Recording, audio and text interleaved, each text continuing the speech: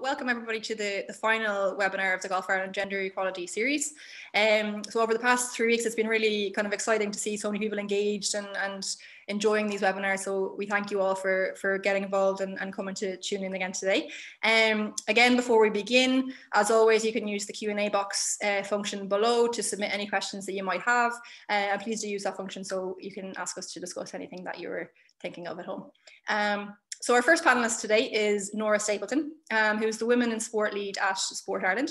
Um, so in 2019, Sport Ireland launched their Women in Sport policy, which ultimately inspired a lot of uh, work that has been done by NGBs across the whole island, um, including the Level Par programme.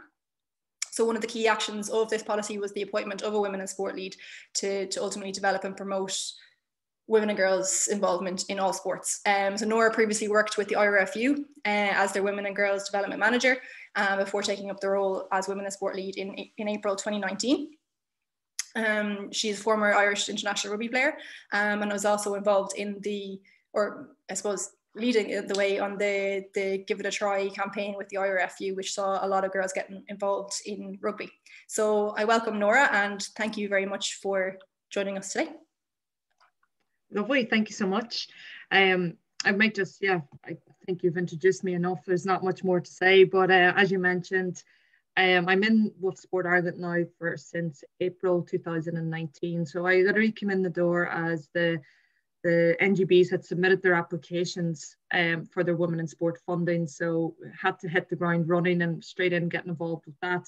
Um, but thank you so much for inviting me here today. I guess what I'm going to do is do a sh very short presentation, maybe just to set the scene a little bit um, on policy itself, why we need the policy, and then really just try and focus on participation, um, drawing on my own um, my own background and experience, I guess, from Eider Sport Ireland, uh, from the IRFU, which you mentioned, and then I also worked for the GAA for about six years. I was a games promotional officer in a local club here in Dublin. So very much came from grassroots um, and I've worked my way through different levels of sports uh, and organisation of sports. So hopefully I can draw on a bit of that and just share with whoever's listening in today. So give me a sec here now and we'll just share this and we'll get going.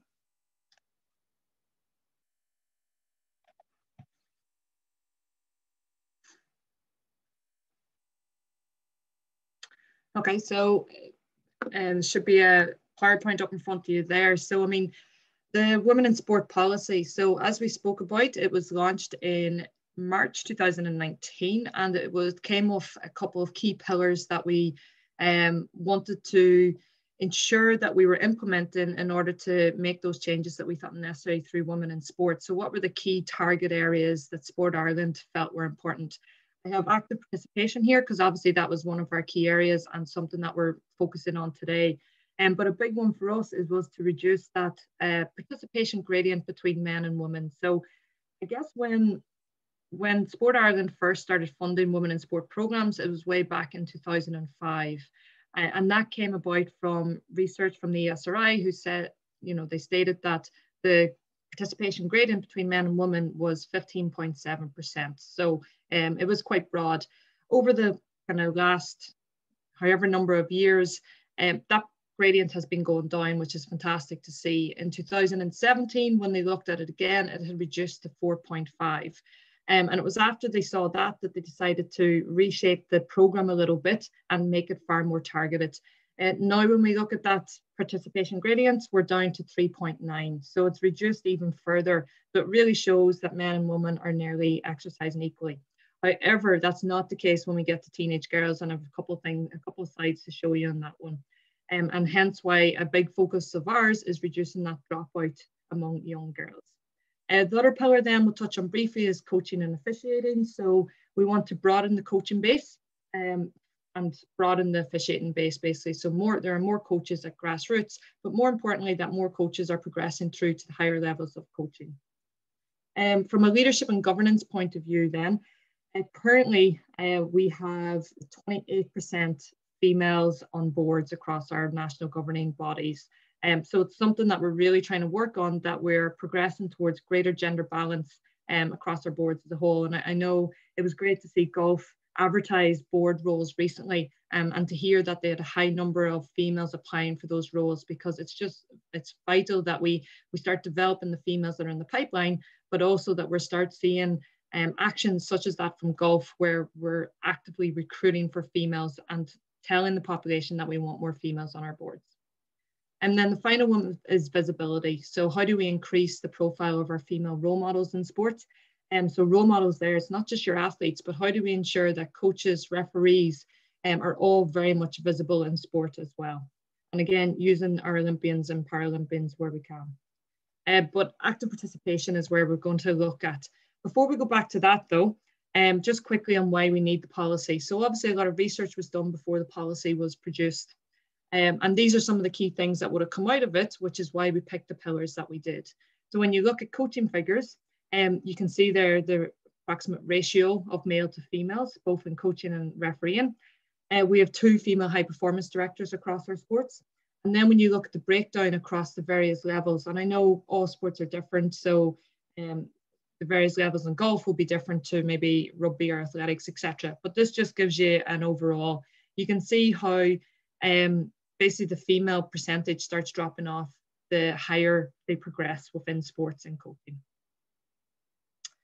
Um, boards then, so I mentioned the current stats, but this, you know, just gives you an idea of some of the NGBs that would have, well, I guess what we would consider quite a positive board composition where they have um, between that 60, 40% um, males, females on boards. And then we still have a lot of NGBs that are 10% or less.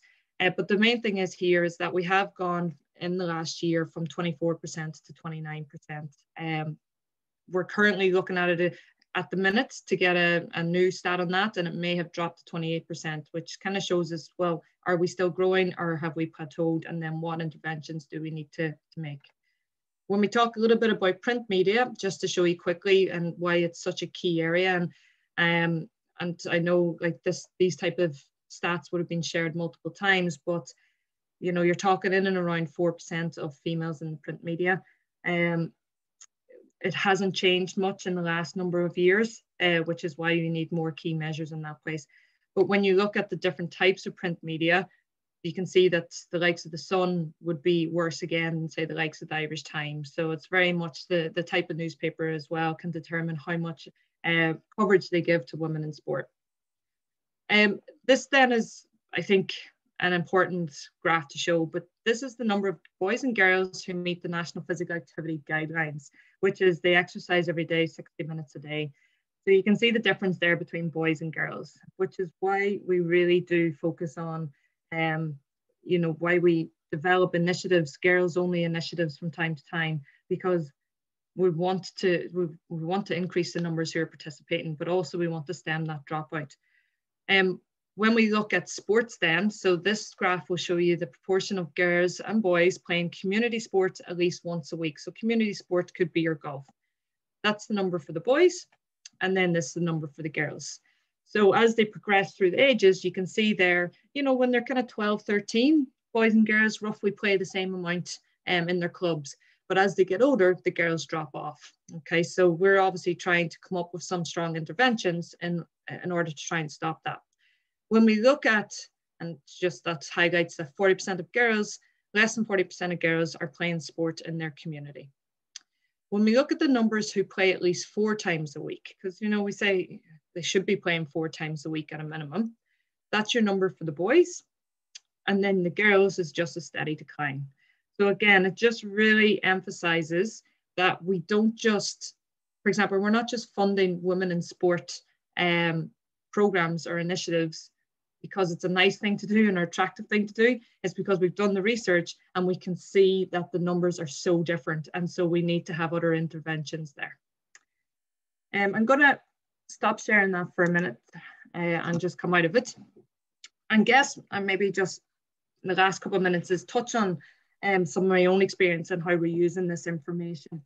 Um, so when we talk about participation, I we saw there in the graph that boys and girls around the age of 12 can have a tendency to play sports at an equal level.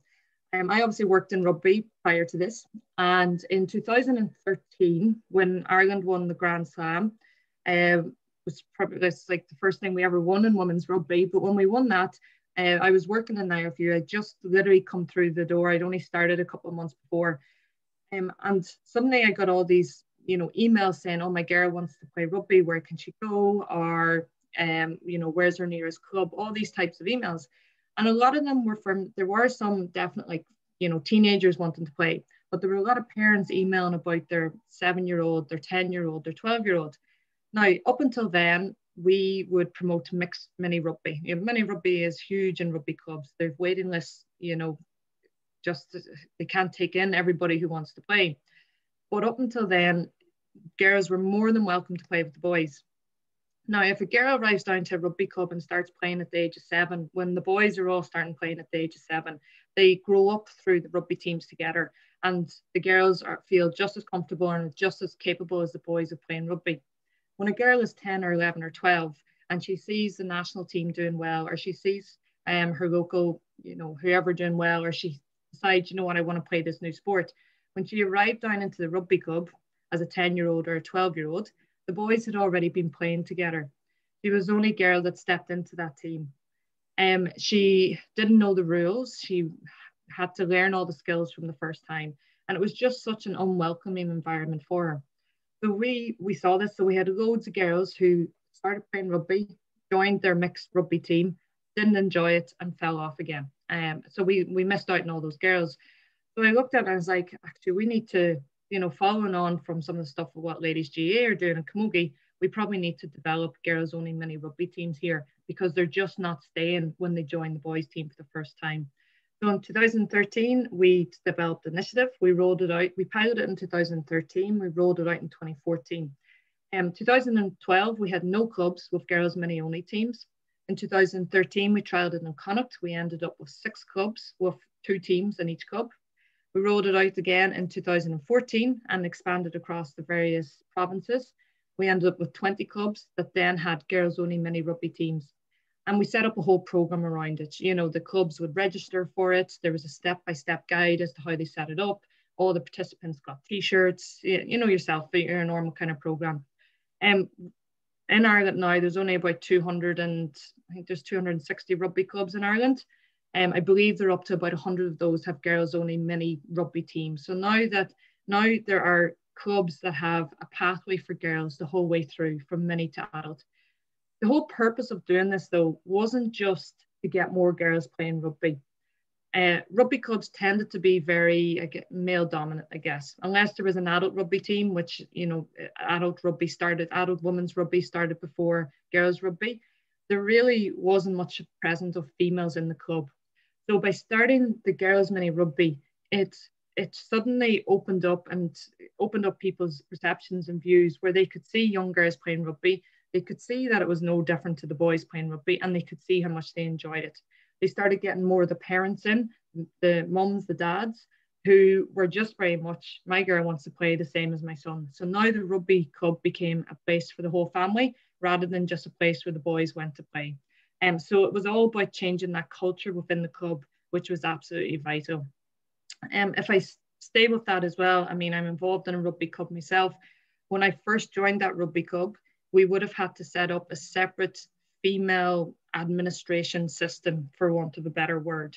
Um, over the years, it was a case of, no, actually, this isn't working. It has to be all about integration. So we spent a long time, um, not, not too long, but it was all about how do we ensure that females are integrated through the whole path of the, the whole uh, governance structure of the club. Um, and vice versa, how do we ensure that the, you know, the males are involved in the female side of the club as well. Um, and that has just worked wonders. You know, it was the club streamed our match there at the weekend live across their, their Facebook channel. And um, there's much more shared budgets, etc., etc. Um, females have, a, you know, they're bringing their working environment and their business environment into the club where they're able to bring in external sponsors and things like that. So it's really just because of that shared resource and that shared knowledge um, of you know, men's, women's rugby, all working together within the club, it's really opened up so many more doors. And so I guess, you know, I really have probably go back into my own experience there as opposed to purely talking about uh, Sport Ireland and what we're doing there. But to go back on that briefly, you know, it's absolutely fantastic to see that the funding that Sport Ireland have awarded to the NGBs and especially golf and the level par program, um, we saw it as being something critical to ensure that the amalgamation between the two unions uh, would be, I'm not going to say seamless because I know nothing like that is, but that there support structures in place to help that amalgamation, which was absolutely vital um, and that those support structures would flow down through clubs as well and not just be at a, a, a, high, like a board level basically, that it would flow down through. And the Level Par is just one of the programs um, that we would fund.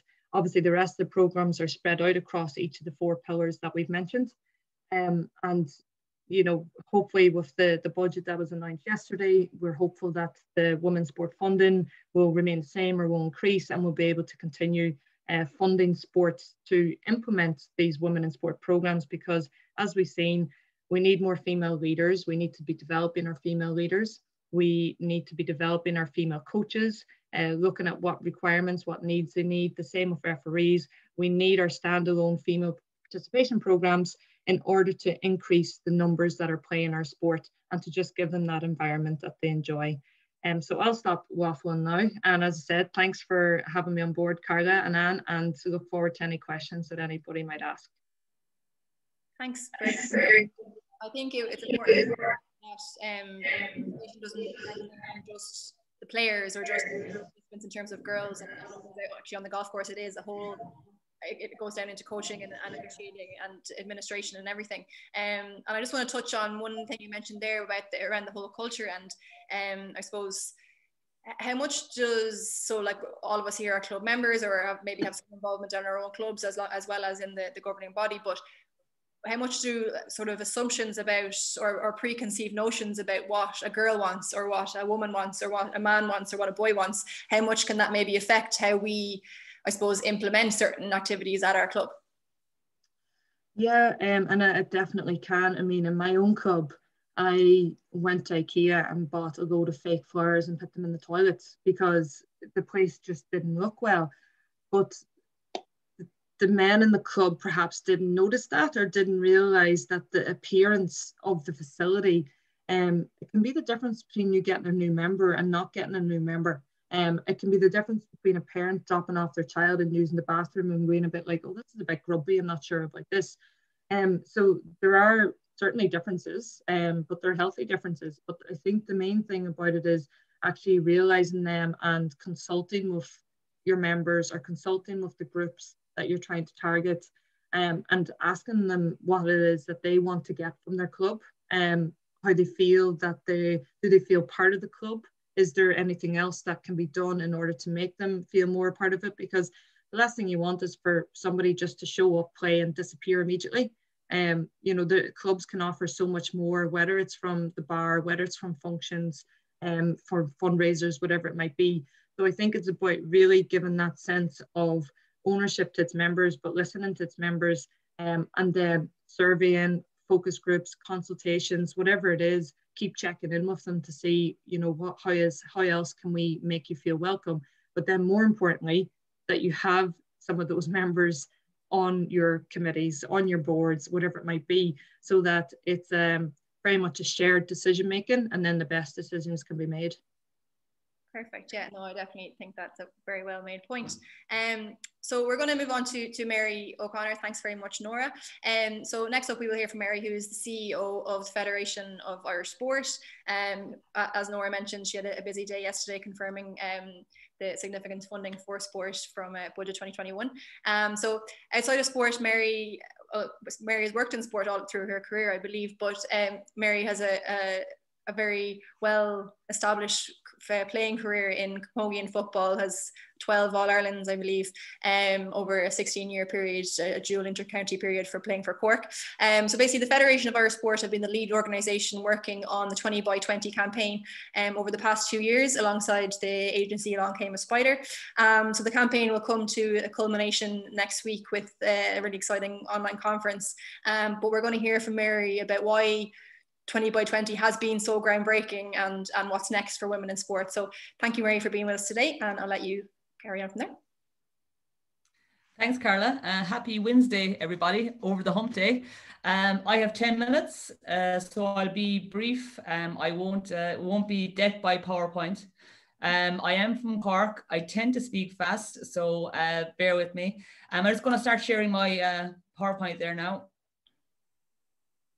Okay, so I'm hoping that at this stage uh, that people are aware of the 20 by 20 campaign. Um, it was it launched on actually the 15th of October, uh, two years tomorrow.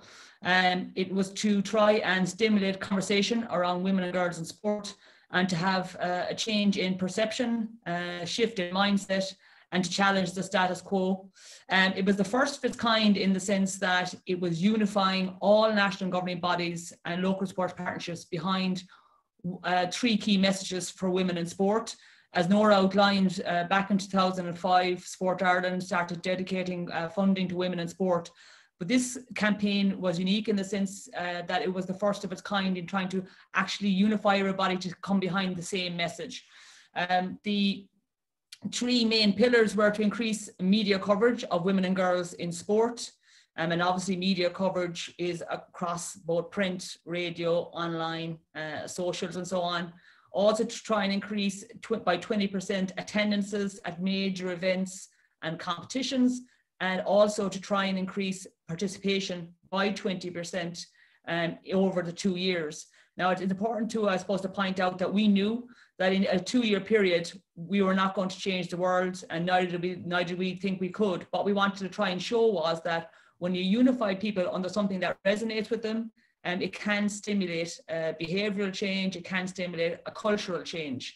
Um, so obviously we're coming to the, the climax of the 20 by 20 campaign. We have seen huge gains and, and huge achievements um, in that time. I think it's important to say also that we had 76 uh, people, 76 organizations, be they national governing bodies or local sports partnerships, who signed up to the 20 by 20 uh, campaign by signing a charter. And in that charter, the NGB or LSP would have committed to achieving either one or three of the aims I've just spoken about.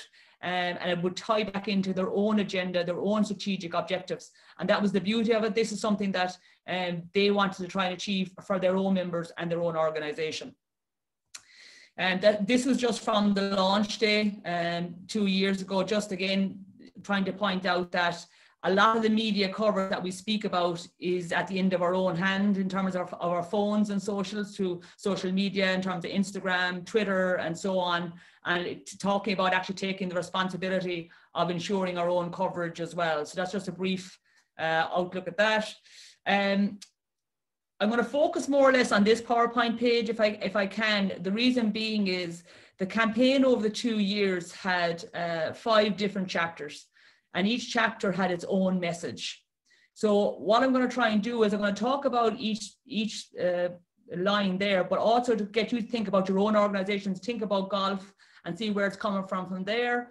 So the first hashtag was if she can't see it, she can't be it. And what we were trying to prove there was if a young girl did not um, see her heroes or see anybody that you know she could emulate, it was very difficult for her to actually you know achieve but also it was very difficult for her to be inspired and, and, and, so on. So it was a vicious circle. You're not going to increase participation. You're not going to increase um, attendance if you don't increase uh, visibility. So following the, the launch um, of the campaign, we went to International Women's Day uh, the first year, which was Show Your Stripes. And Show Your Stripes is really a call to action. We were asking individual organizations who had signed the charters to publicly say what their commitment was, but also individuals uh, to speak about what they are, what they said that they were going to do to try and support women and girls in sports. So you had celebrities, you had uh, clubs of all different sports, you had individuals just commenting on how they were going to support maybe their daughter's involvement or their niece's involvement. Uh, and so on. So the Show Your Stripes campaign was a huge success um, in year one. Um, and what it proved to us is that it wasn't just a campaign for women. It was a campaign for all of society because we needed to ensure that we were um, having these difficult conversations, challenging maybe the conscious and unconscious bias uh, that there is out there towards women and girls in sport. So that was a real first impactful uh, chapter that we had. And the second two I'll take together, which was just one and hero your hero.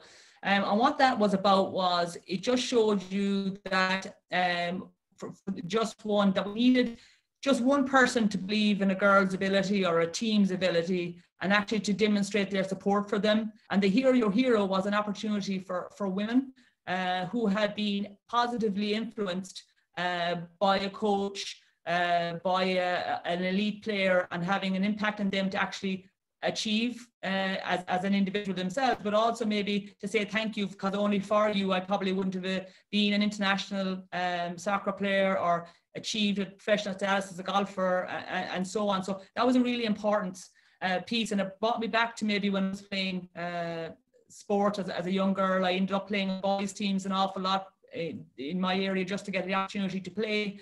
And I had somebody who really believed in me, who actually supported me. It was a difficult time, obviously, as, a, as the only girl on a, an all boys team, um, but hurling and football. And that support really stood to me and it kind of gave me the confidence to stay playing. Um, and that one leads on to the show your skill bit. There's a perception out there that women and girls sport isn't as skillful um, as as the men's sport, and you know, you know that kind of a comparison is, is decades old. Old, but what we were trying to do with show your skill was we were inviting individuals, teams, uh, young girls to actually send in video and content of them actually uh, performing a skill. It could be hockey, it could be golf, it could be in any sport. And we got inundated with young girls sending in themselves practicing their skills or demonstrating how skillful they were. And that was a really important piece because it just showed you the talent is out there. And again, we pushed that out through our social channels to ensure that people were kind of educated that girls are really skillful. And then obviously we supplemented that where we had elite Irish athletes demonstrating their own skills as individuals and as part of teams um, as well. The audience is everything it was really, really um, important because what we were saying was that, you know, there's absolutely skill in the game. We'd actually seen that there's loads of girls playing sport, but there wasn't anybody attending um, events and so on. So then if you weren't attending, yeah, you were missing out. So we tried to get across the message that audience um, is everything. And the important thing that we wanted to try and see was that we, can, if we can actually increase people at going to games and events. Like you see the young girl there looking over the fence at, at girls playing hockey. We want that to become the norm. We want to change uh, that, you know, the fact that these games are going on and nobody knows that they're going on. And that kind of ties into the women in sports calendar that the, the Federation of Irish Sport created. Um, the calendar was the first of its kind as well, where we got all the fixtures of events, games, matches, and so on at a high level from each of the organisations that have signed up to us and we populated the calendar. So if an individual wanted to know when Ireland were playing a, a soccer match or when we'll say there, were, there was a hosting of a, a, a judo European championships, where it was on and when it was on. So to give them the opportunity to actually go to these events and show their support. Um, and that was a really um, well subscribed calendar. Obviously 20 by 20 put the 2020 put the kibosh on an awful lot of uh, activities this year, but still we were able to populate the calendar and also it allowed journalists who possibly weren't kind of covering uh, the female side of sports the opportunity to look at the calendar and see what events uh, were coming up um, as well. The Shaping the Future one was the second year of the um, of the International Women's Day Show Your Stripes. So it's going to show your stripes and shape the future. And what that was, we were trying to ask, get people to question themselves what role are they playing in their own communities or in their own clubs around shaping the future for women in sport.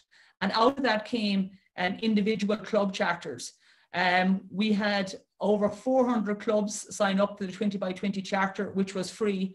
Um, and obviously they made a commitment to ensure that girls and women's sport was catered for, uh, that there was equality. But and, and in, in, response to that, then they received a 20 by 20 flag, which they could fly um, in their local clubs.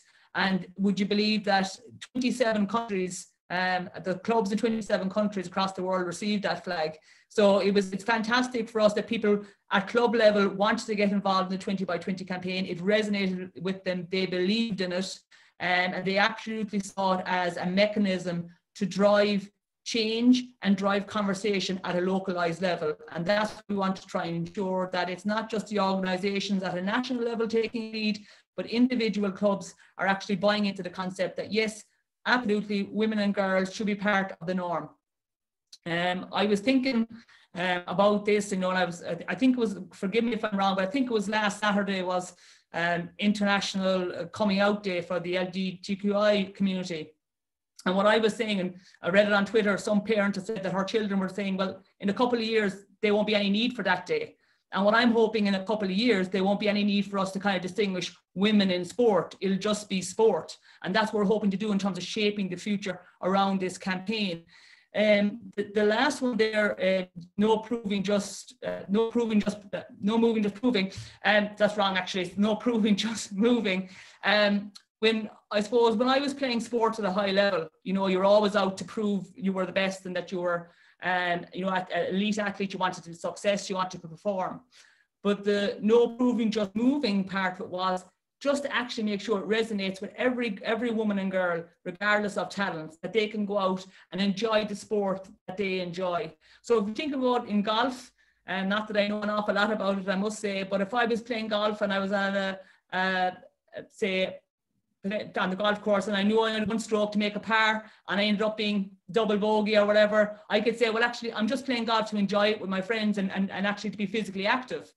Whereas if you're an elite golfer, obviously you want to try and get that eagle, get that birdie, and so on. So what we're trying to say with this is, you know, we just want people to be physically active for their own general well-being, and we want the campaign to resonate with them as well. So, so for all age cohorts, and it's very much inclusive.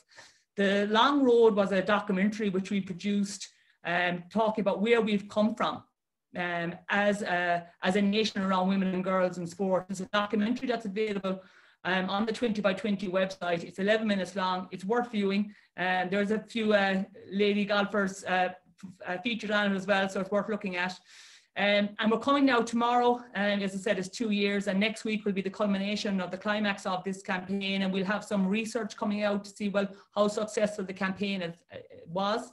But choose what next is essentially it's up to us, and that's what we were talking about in the campaign. Is change is the responsibility of us all. And it's all about ourselves making individual changes and then any groups that we're part of that we make changes uh, along as well. So as I said from the outset, Nora and Sport Ireland, that, you know, that's the policy, that's a sustainable piece. This was a call to arms, it was a call to action. It was actually about uniting uh, different organizations under the One Women in Sport banner about actually supporting ourselves, but also encouraging people and educating people about women in sport and also about ensuring that we have those difficult conversations and that we challenge what is, has been the norm uh, up to now.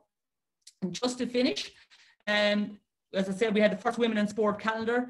In the two years, we've had six uh, elite attendance records broken uh, for five sports, and there has been an increase um, in media coverage. I think it's safe to say that we have a, a, long way to go in terms of print media, but I think in terms of online, socials, radio, uh, television broadcast, that absolutely um, ha has increased. As I said, we also will uh, next week be releasing um, the outcomes of the benchmark data that our national and governing bodies would have given to us at the beginning of the campaign under participation and so on. And we'll be able to see what has that had an impact, the campaign had an impact uh, for them over the last two years. As the slide says there, uh, lots, more, lots done, more to do, uh, st still hurdles to jump. Um, I think what's happening today and what's been happening um, by in the last number of weeks has been fantastic. I think it's been lauded. I think the support from Sport Ireland in terms of funding and so on makes a real difference. Difference, and I think you know there will be huge outputs uh, from this type of work. And I just want to thank you for the opportunity for presenting today.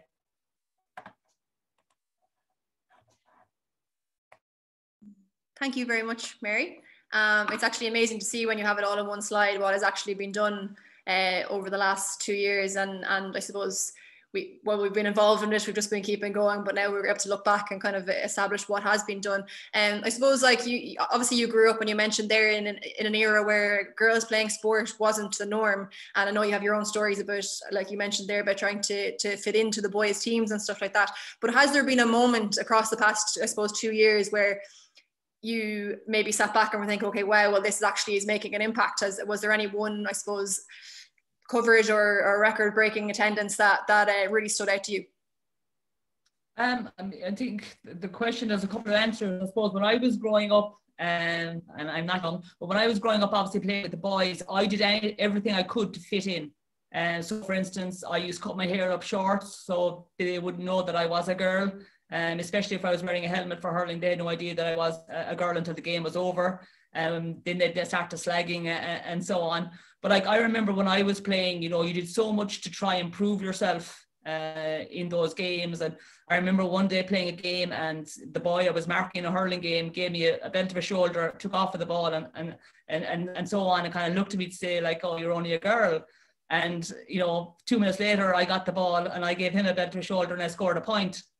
And I, I wasn't long kind of going back telling him like, you know, I'm here. But to answer your point, I suppose I was at the hockey uh, international when they qualified for the Olympics and to see the crowd. That was one of the record breaking attendances. It was also televised. It just filled me with emotion because I was so delighted to see that Irish society is really starting to catch up now. Uh, you know, there's only a few sports in the world where there's a kind of a parity um, in terms of women's coverage, and that's probably the likes of tennis and, and so on. And like I, I went away from that game thinking, God, you know, we're all making a difference here. The campaign is very much public facing. It's kind of that social movement piece. It's increasing the visibility. And then you have the work that Nora and Sport Ireland are doing um, at a national governing body level and local sports partnership level to make that sustainable.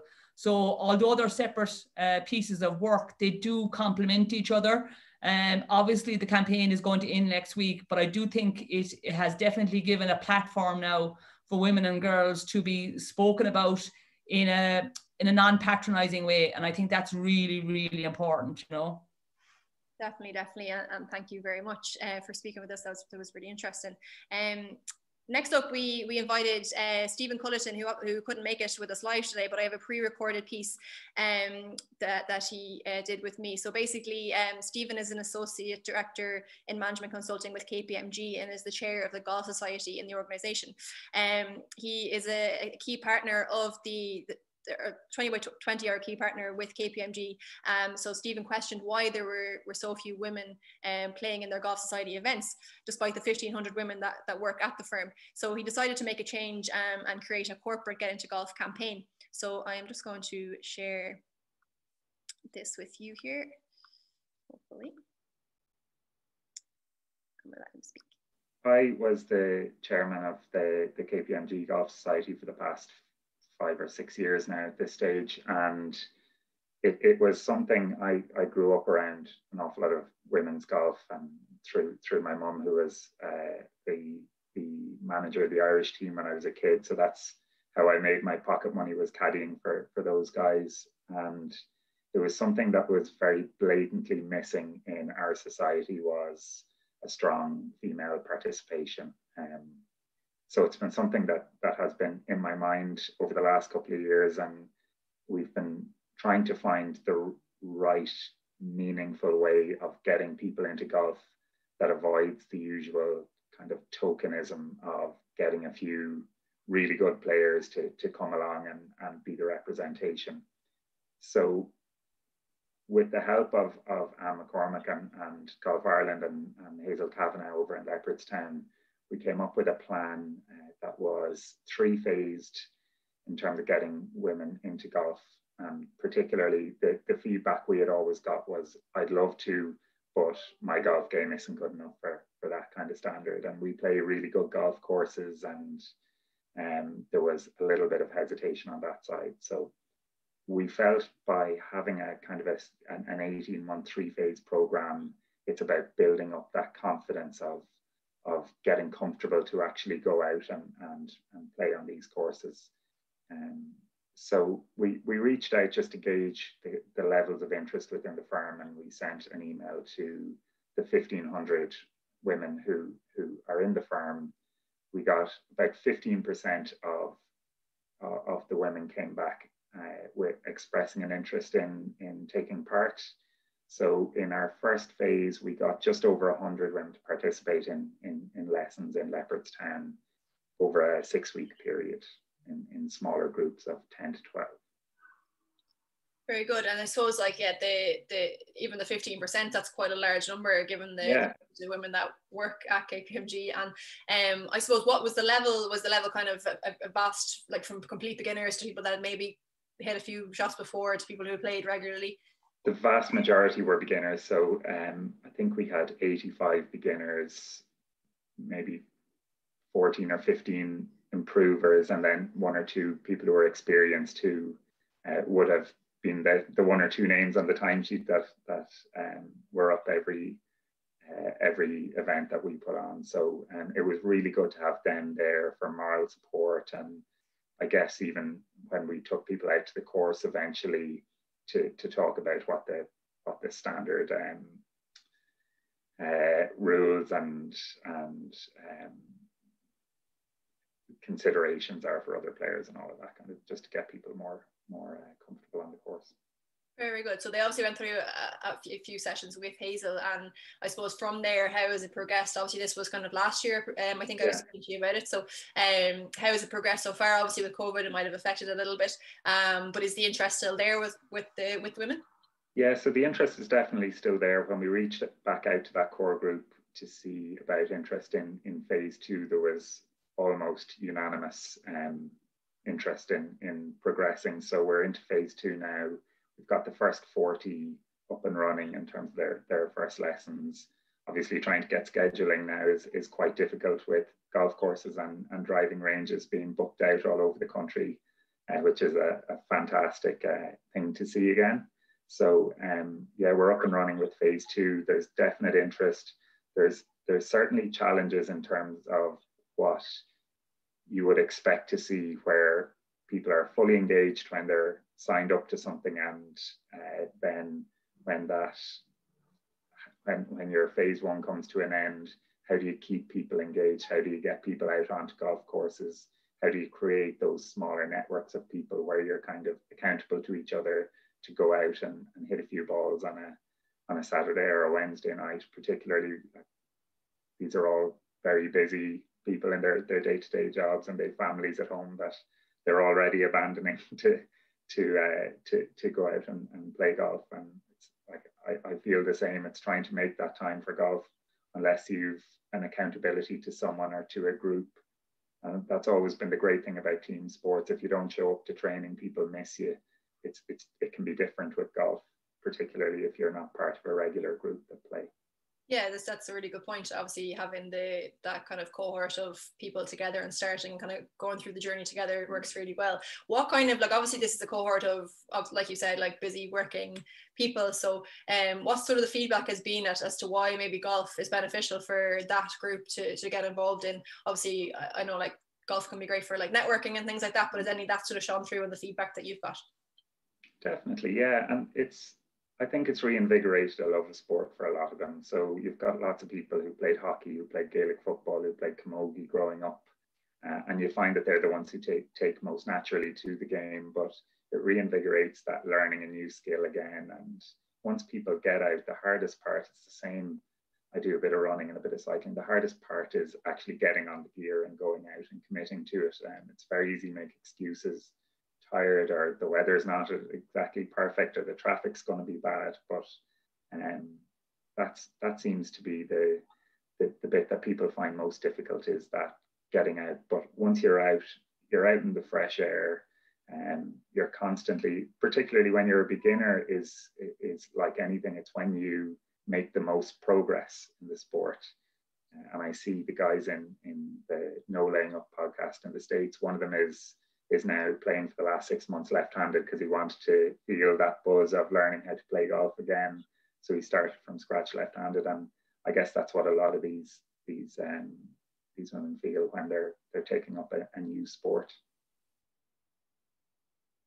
So sorry, I didn't do a quick um, outfit change there or anything like that. um, uh, that was pre-recorded with uh, with Steven, and it's kind of a case study, I suppose, as to how some of the uh, reasoning behind uh, women getting into sport, and, and obviously they, they were questioning as to why um, the women weren't getting involved and things like um, it being that them not feeling like they were good enough or not having, um, I suppose, not, not knowing the, what to do when they get to the golf course or not having the equipment and things like that. So they were sort of barriers to stopping that participation. So that was something that Steven found and they've implemented really well. Um, and not without the help of CGI um, and our next speaker, um, Anne McCormack, who a lot of you will know very well.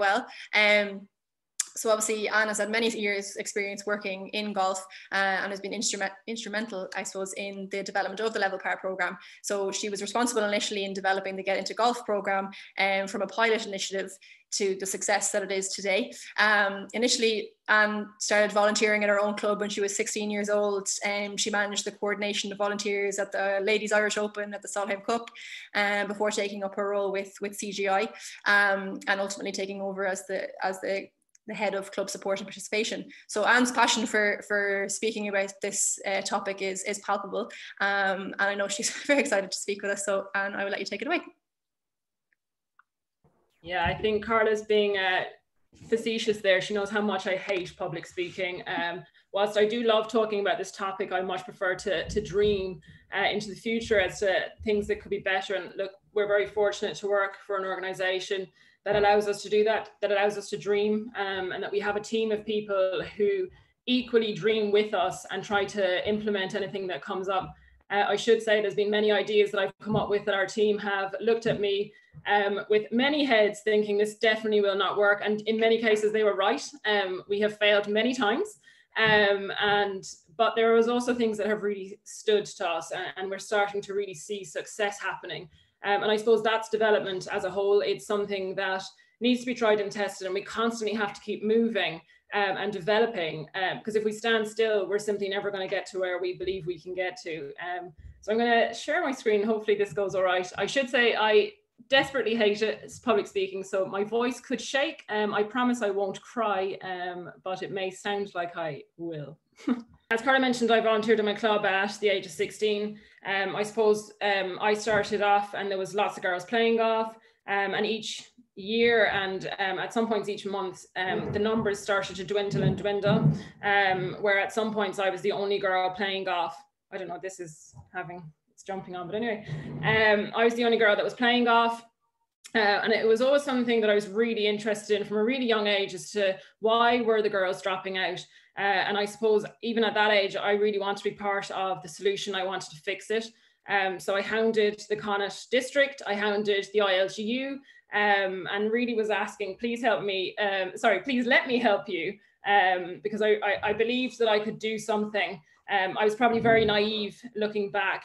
Um, however, as soon as I began to work in golf as a volunteer and then as an employee, I realized that in order to fix the issue, we needed to first understand it. Um, growing up, I'd always heard things like there, there's not enough women on committees. Um, there's way more girl, boys playing golf than there is girls. Um, but I suppose it was really important for us to really understand what that meant. What did that landscape look like? We've already heard from Steven um, about kind of on the women's side. So this is just really focusing on some of the participation um, trends for girls golf. So girls making up less than 2% of golf club membership. Uh, into, this is from 2018. Um, the number of girls in golf clubs was still decreasing at that point. Um, however, the number of girls participating in, in club level was increasing, and that was largely down to the ILGU implementing um, the the girls policy, which clubs had to allow um, girls to play in competitions, and that really really helped with participation. You'll see there that the number of girls playing off 36 was 824, and there was only 804 girls that had a handicap of less than 36. Uh, you'll see that the largest portion, the 3,143, had no handicap or a handicap of 36. And for us, that was quite concerning because what we could see through the trends was that those who didn't have a handicap were less engaged, they were feeling less confident, less competent, uh, and therefore were most likely to drop out. Um, and in, in, in the same situation in terms of the coaching landscape, um, we started to understand that there was only 43% of clubs with a resident pro that had no no girls that were members of clubs. So there's actually 127 clubs that had no girls as members, which is a very, very high portion of our clubs. Um, what we started to see though was that clubs that had two or more resident PGA professionals had a greater number of juniors, that's both boys and girls. Um, and for us, this was a really, really important finding that the average number of girls was 50% higher than the national average when there was a fem female resident PGA professional in place. So, um, you know, when we talk about level par, um, the four pillars that Nora mentioned and the four pillars we've gone through for the last few weeks, each one of them has a knock-on effect to participation. We can't grow our sport unless some of those other um, issues in each of the pillars are tackled, um, which is why we developed this four-pillar um, model of level par. Uh, I should say that um, it, the first slide would have, would have covered, um, you know, this was all done in consultation with huge volumes of people. Um, you know, we didn't do this on our own. Um, we spoke to large numbers of organizations that have gone through this. We surveyed our female members. Uh, we got um, stats from, you know, GUI ADMs. Um, we really, really wanted to understand the trends. And I think Nora mentioned it earlier on, the importance of, you know, understanding the market that was there. So when we were looking, particularly in the area of participation, um, of how we were going to increase the number of women and girls. Well, we had to talk to them. We had to talk to women who had never played before. We needed to understand what their fears were. Um, and, and that's where we developed um, the Get Into Golf program, uh, which has continued to evolve through the years. And, and we're very lucky. And it's the same for the girls program. It'd be very wrong if a group of adults uh, decided to design a program for young girls um, who live in a very, very different world than we did when we might have been 10, 11, 12. So it's really important to get their feedback. There was many people who thought we were crazy to go and try and get young groups of kids to, to into rooms and consult with them uh, because you know what, they'd come out with something wacky. Uh, for me, that was the, the best moments um, of my career to date was spending time with those kids because um, actually they gave so much hope for what the future could look like um, and you know how we could break down some of the barriers and yes there was some wacky ideas about having you know sweets on every second tree in their golf club. Uh, that's how they think that they'd like to stick it out. But you know what? Um, we we took on an awful lot of their feedback. Um, i remember in mullingar golf club we had a disco because they were mad to have a disco after golf. Um, so some of our volunteers were seeing line dancing, some of our international players were doing all sorts of dances, um, and the girls just had a brilliant time. Uh, and the importance of listening to everybody concerned, whether it be PGA professionals, whether it be board members, whether it be committee members of clubs, but really, really engaging with every level. And I think that's probably the success of, of the Level Par program. So you'll see here on this slide, um, I suppose the commitment, we're very lucky that Golf Ireland um, have committed to level par moving in to next year, which means that the program can continue to evolve. Um, and we're very obviously very fortunate to have Sport Ireland's backing, um, as well as the support that we've gotten from the Federation, the R&A, and, and the PGA and Sport NI. Um, but you'll see, you know, recently we launched our Women in Charter. You'll have seen the Golf Ireland commitments, um, and that really is that call to action that Mary spoke about. It's uh, Golf Ireland really committing in paper what they're going to do to increase and make um, the environment better for females. Um, and you'll see the pillar elements um, there as well for coaching and officiating, participation, governance and visibility. Um, I suppose for participation that we're talking about today, we had a range of things that came under that participation pillar, which was the expansion of get into golf, um, Golf for Girls for Life, we continue to expand that and, and actually create an environment outside of that, the clubs, because the, the national average um, for girls is only nine per club. Uh, and when you break that down, there's probably only two that have a handicap. So we needed to create a different environment. And this funding has allowed us to create that bubble outside of their own clubs. Golf Sixes was the first tournament um, that boys and girls could kind of compete at with to, sorry compete with together um, and go on and represent their club at regional level. Uh, we piloted that last year and it worked really well, and we've we've done the same this year. Um, and as Nora said, that this is something that's really important as part of the transition into Golf Ireland. Um, this whole coming together, and um, we started to see, you know, men and women joining together, the junior conveners having conversations when in a lot of clubs they had really done very separate programs for their boys and girls. Uh, and for sure there's a need for that at times, but it's great now that they're starting to have conversations uh, and link up where they can. Um, you'll see there um, the top picture, it's, you know, that's one of our activation programs uh, that ran last year. Uh, and that was in an effort to, you know, grow the number of female um, leaders uh, and young leaders that were going to help our young people grow. Uh, and the bottom one was all around, you know, we got a number, I think we have about 50 ambassadors um, across the country, which is mostly made up of our international golfers, all from, uh, you know, they've got different experiences. They love golf for different reasons. They've got to travel and things like that. And for them to spend time with some of our young girls from across the country has been really, really positive, um, and definitely helped you know, retain some of our girl members. Uh, I'm conscious of time, so I'll try and uh, wrap up. But I think what we can see from this year is that for both women and girls, golf club membership for the last two years has increased. Uh, the number of girls participating in clubs has increased.